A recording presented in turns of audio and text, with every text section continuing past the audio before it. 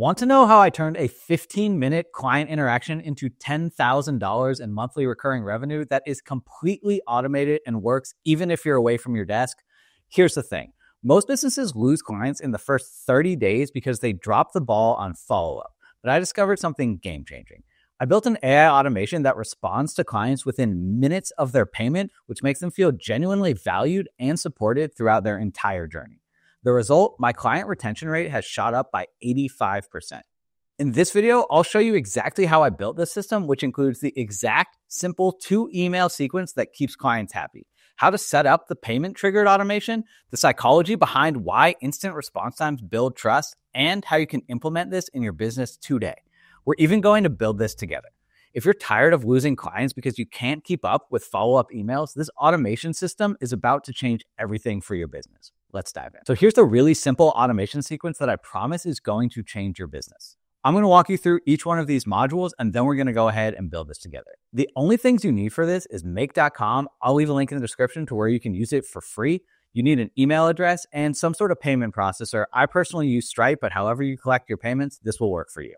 The biggest thing your clients want is to feel seen, to be recognized. So if it's taking you a day or two days or three days to respond to them, they're not going to feel taken care of. They're going to wonder like what it is that you're doing. They're not going to want to work with you again. And the reason this is so powerful because if your clients feel seen and you get back to them and respond to them in a reasonable amount of time, they're going to want to continue to work with you month over month and they're going to have trust in you. So they're going to want to pay you with a monthly retainer to make sure you have income coming in every single month. They know that they can count on you so they're willing to pay. Mm. This automation is for onboarding new clients. And as soon as this automation kicks off, a switch is going to flip in your client's brain once they receive these first two emails that's going to let them know that you're trustworthy and that they should continue to work with you. It's going to make you look more professional and like an expert in your field. The automation is incredibly easy to set up. First, it starts off in Stripe or your payment processor. And as soon as your client pays their first invoice, this automation kicks off. And what it does is it grabs details from that invoice and it puts them into the system. So it just grabs your client's full name and then we extract the first name. So say your client's name is Chris Smith. It's just going to extract the first name Chris so that when you're corresponding with them, you just say, "Hey Chris" instead of like using their full name. And then we're just going to grab their email address. And that's literally all you need. After we've set those two variables, we're going to wait four minutes because you don't want to respond instantly so that you seem like a bot. But if you wait for four minutes before responding, they're going to think that you're really on top of things and you're reading their emails and that you're available to them. So this is just a simple sleep timer with a 240 second delay or four minutes. And after that, we send the first thank you email that grabs the client's email address and sends them a thank you and welcome aboard email using HTML format. And I'm going to share this email template with you so that you can use it in your own emails. After that, we're going to wait three more minutes before sending a second follow up email. Again, this lets your client know that you are thinking of them and that you are prepared for the next steps, which again makes you seem more professional. Clients often need a little bit of handholding, so this will let them know that you didn't just accept their money, but that you actually know where this thing is going. So basically, it takes that same information, the client email and their first name, and sends them the second follow up email three minutes later. So let's go ahead and let's build this together. Now, in my case, I'm using Stripe as the payment processor. And basically, what happens is whenever the client pays the invoice, it'll ping the webhook here in Stripe. And so you can just go ahead and kick that off by coming into here and searching for Stripe and go to show more. And basically, what you want to do is you want to watch events. And so anytime something happens, it'll ping that webhook and it'll start off the automation. I'm going to show you what this looks like for me, but then I'm going to show you how you can set up the system just to test it out while you connect your own payment platform. But if you're in Stripe like me, you actually just want to come down to the bottom here into the event destinations and come over to webhooks.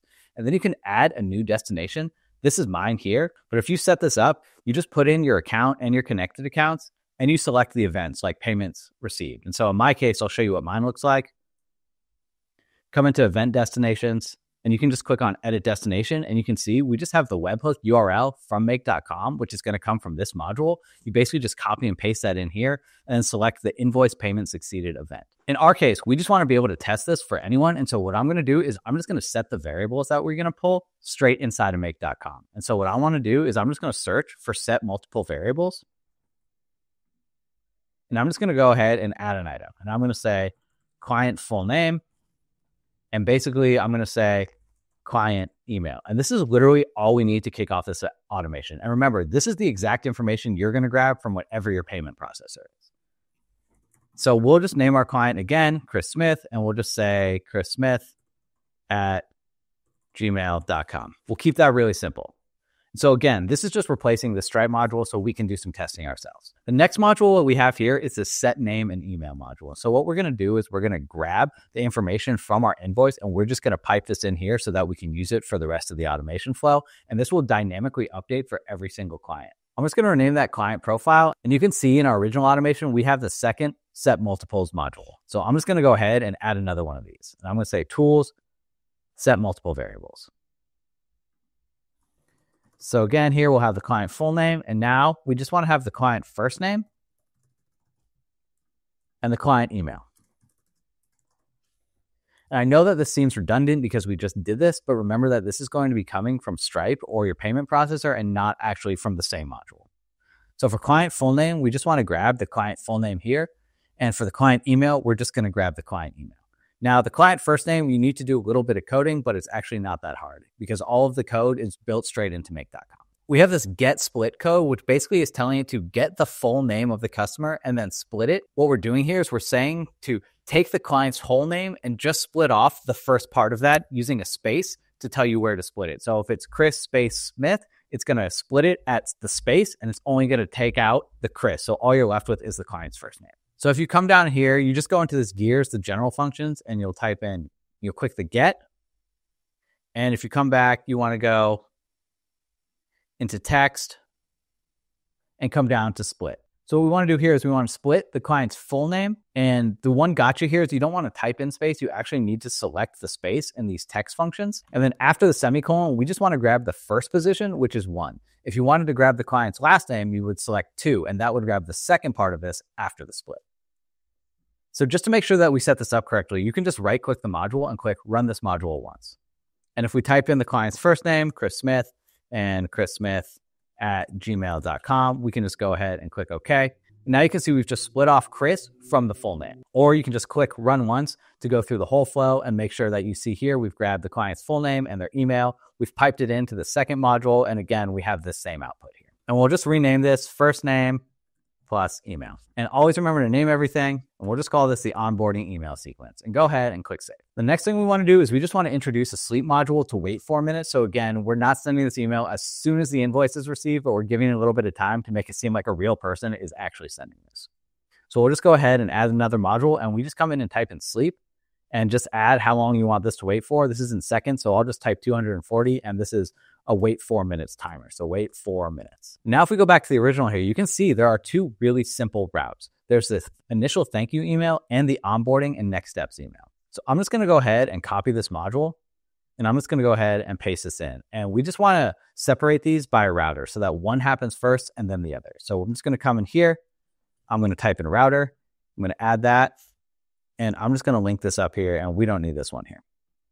So now we have the thank you email. And basically what we're doing here is we're connecting this to the rest of the flow. And you just want to go ahead and create a connection with your email account. I recommend using the email module, which is send an email here instead of the built-in Gmail module. I just find that the email module actually works a lot better. So you would just click send an email to start this from scratch. Come in here, click add a connection and connect this to your email account. You don't need to save the message after sending. And for the client email address, you can either take this directly from the first module, which will be your payment processor. In our case, I'm just going to grab it from that second module where we've actually set the variable so that they're dynamically updated every time. And we can type in a subject. I just have thank you and welcome aboard. You can make this whatever you want. And we have the content type as HTML. This way, it lets us put in our own line breaks and things like that.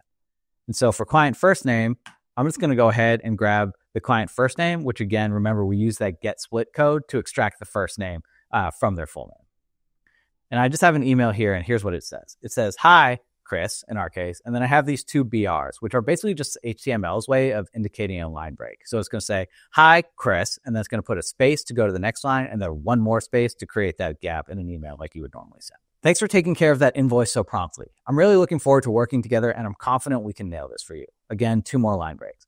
I'll send you some onboarding instructions and a calendar in a moment, and we can then book a call to kick off the project. This part is really important because this lets your client know that you have more instructions for them and that you're ready to schedule a call to talk through any questions they might have. So already they're feeling really confident that they can trust you with their project. We'll add two more line breaks. And again, we keep this really simple. I just say, talk soon. Thanks again.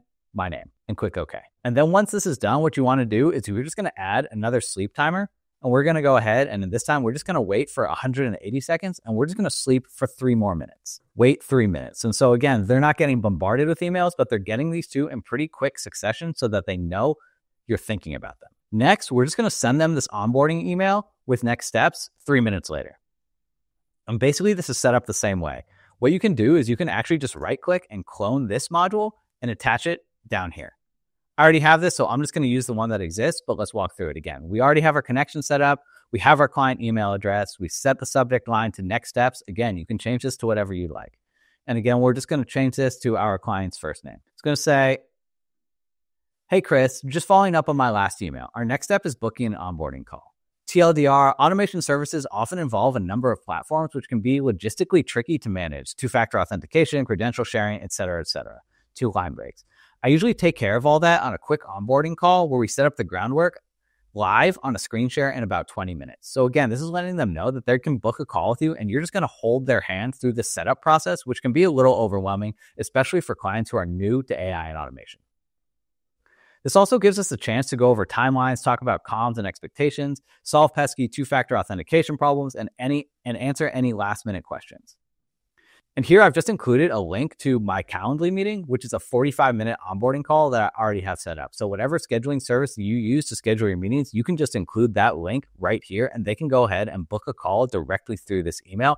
Of course, it'll get added to your calendar and you'll be ready to do this follow up onboarding call with your client. And we said, Do you mind booking a slot here?